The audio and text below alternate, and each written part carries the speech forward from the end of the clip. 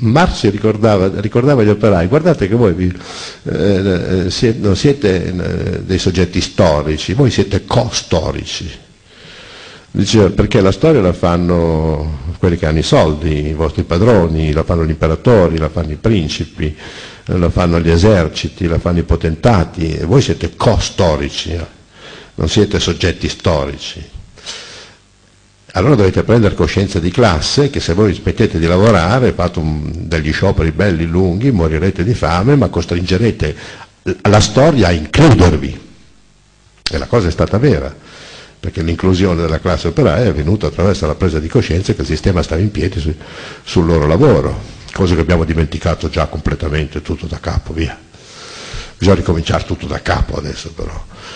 Eh, ma si può ricominciare tutto da capo? Io mi domando, i giovani che sono in una condizione spaventosa, no, eh, nel 1968 per niente è successa la rivoluzione, solo perché si voleva andare un po' più con le donne, si voleva diminuire un po' l'autorità dei professori, di quelli che avevano un certo, un'autorità che era autoritarismo, per molto meno è scoppiata una rivoluzione. Perché oggi non scoppia?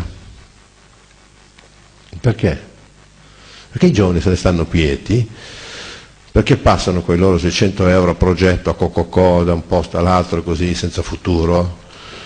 Eh, perché succede questo e non succede la rivoluzione? Perché nel 1968 c'era ancora una dimensione umanistica, un conflitto tra due volontà. Nel senso che gli interessi dell'operaio non erano gli interessi di Agnelli e quindi ci si poteva scontrare e fare la rivoluzione tra due volontà, quelle che Hegel indica servo e signore servo e Signore.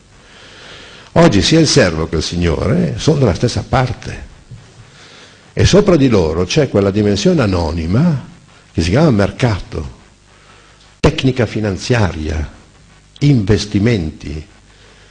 Chi è quella volontà antagonista sia al servo che al Signore che si trova dalla stessa parte?